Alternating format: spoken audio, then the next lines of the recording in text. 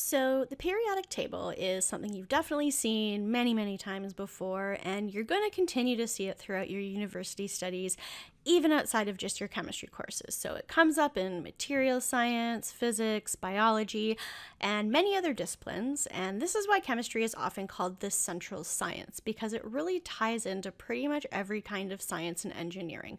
So, having a good fundamental grasp of chemistry is really important if you're going into any STEM discipline. Uh, and it really makes sense because everything in the universe is made up of elements, whether it's something naturally occurring like DNA or something man made like solar panels. So, you probably know already that the periodic table is so important because it's a simple way for us to list all the elements that humans have discovered in one handy chart. But that's really only a little bit of why it's so important. So, there's really key information that we can get about every single element on here. Uh, and even more excitingly, scientists can use the periodic table to predict all kinds of properties that elements and molecules will have. And that's really incredible if you think about it. Uh, for example, we can predict that chlorine and fluorine will react in really similar ways because they both appear in the same column of the periodic table. Uh, without really knowing anything else about those two elements, we can predict that they'll act in similar ways. Uh, and it gets even cooler, so I'm going to talk about some of the other periodic trends later on in this video, but first of all, I want to touch on how the periodic table is organized and what information uh, you can get from each element's little square on the table. So for this video, I'm using ptable.com, which is a really, really excellent uh, interactive periodic table that I use all the time. It's great because you can just hover your mouse over any element and it'll pop up all this information. You can click on, for example, titanium, and it will load this information about the element. Uh, basically from like the Wikipedia page. It will show you a picture and everything. Uh, but what I really want to focus on is the uh, the little element squares that pop up. And so every periodic table is going to be different, but they're all going to have essentially the same basic, you know, amount of information.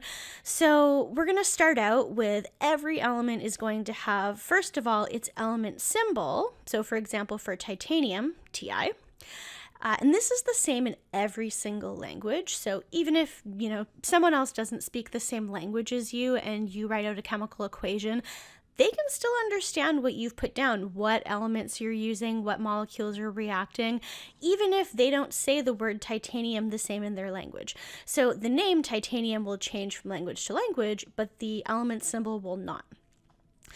The next thing that I'll point out is the little number at the top here. So you'll notice that each element on the table increases by a number of 1. So we start with hydrogen 1, helium 2, lithium 3. Those are the atomic numbers. And what that means is the number of protons that are in the nucleus of that element.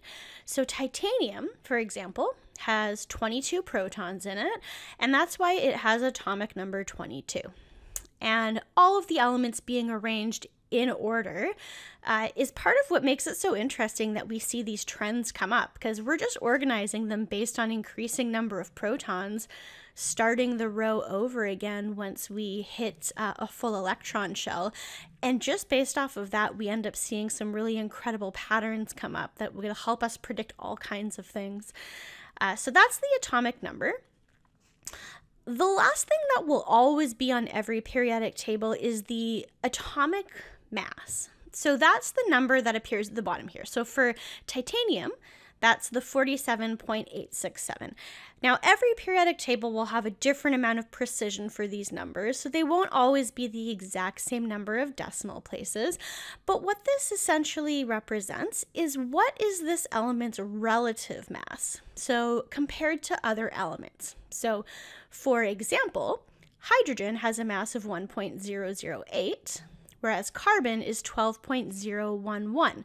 These are always listed in units of grams per mole. So essentially, that means that one particle of hydrogen, a single hydrogen atom, weighs approximately 12 times less than a single particle of carbon.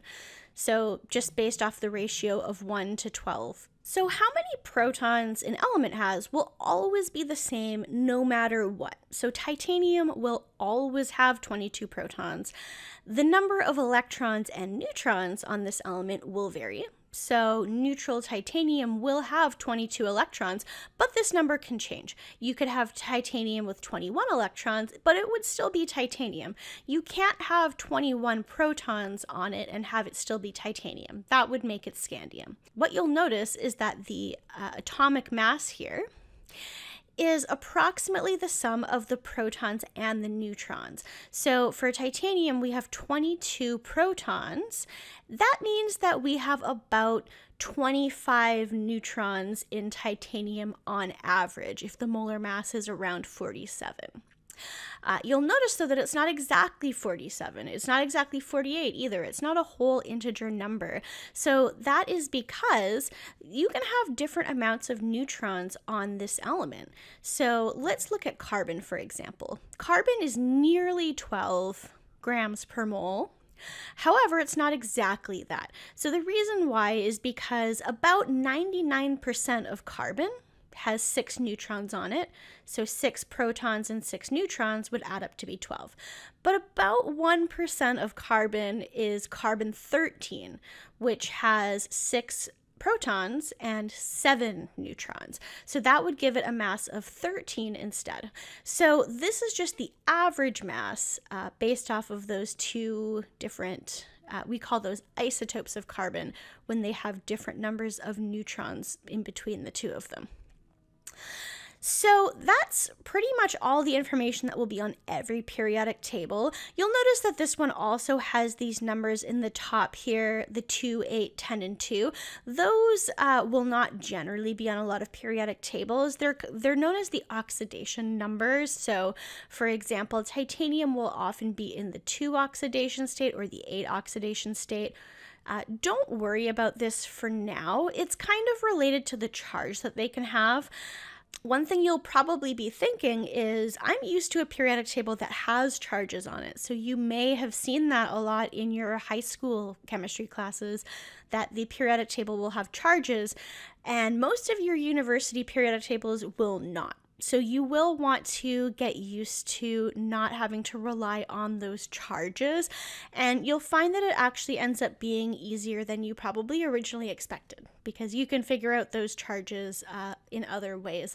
But you'll you'll learn more about that in your first year chemistry courses. Okay, so now that we've gone over the individual element boxes, now we can talk a little bit about how the table's organization makes it so much more useful than it originally appears. So, like I said before, the elements are listed in order of atomic number, but they're not just listed in a single row. So, what you can see is that after a certain point, the row will start over again and keep going and then start over again. Uh, until we reach the end of a new row. Uh, the rows are, by the way, called periods and they end when we finish a complete electron shell. So all of these noble gases here on the far right side have a complete electron shell, and then once we start a new shell, we start an entirely new row. So that's why the periodic table isn't just just listed as one straight row of elements, other than the fact that that would make it really hard to read. Uh, so based off of how we've uh, organized it like this, a lot of patterns are going to show up. So one of the first ones we can talk about is metallic character.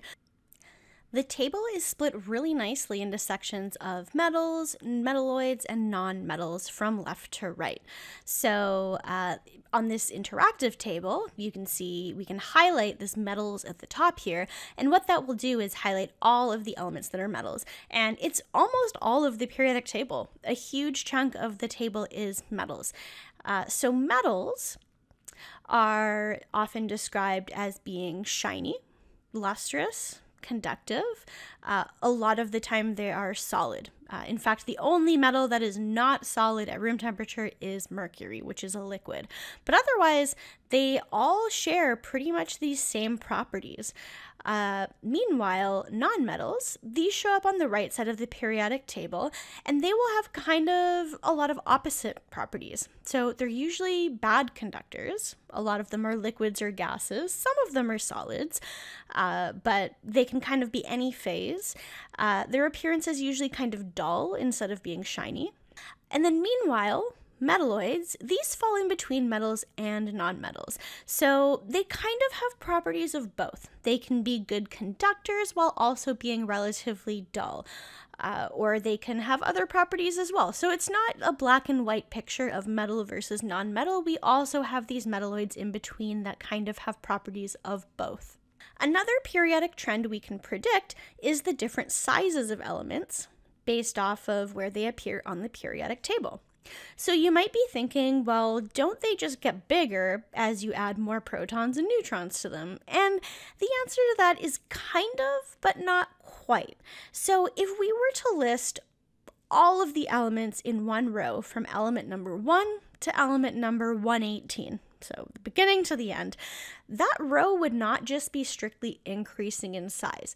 Uh, in fact, you would have a lot of fluctuation there. There, there are very much trends, but they're not going to increase just from low atomic number to high atomic number.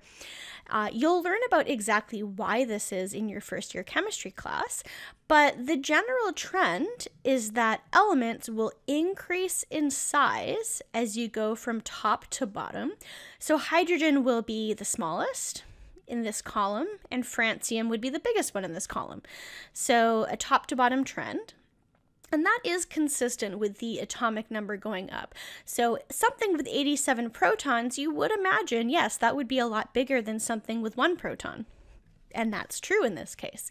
However, the part of the trend that might seem a little bit backwards to you is that they also increase from right to left. So, argon is smaller than chlorine, and chlorine should be smaller than sulfur. So, essentially, the biggest thing in this row should be sodium. And that's the general trend. There are going to be things that don't follow the trend perfectly.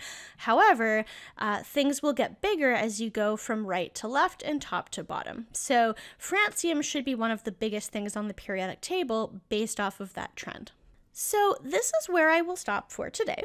You'll learn about a lot more periodic trends in your first year chemistry class and why those trends occur. Uh, but for now, I hope you learned something new about the periodic table, uh, and if not, at least got a good refresher on its usefulness and why it's something that you're going to be using for years to come in university, uh, not just in your chemistry classes.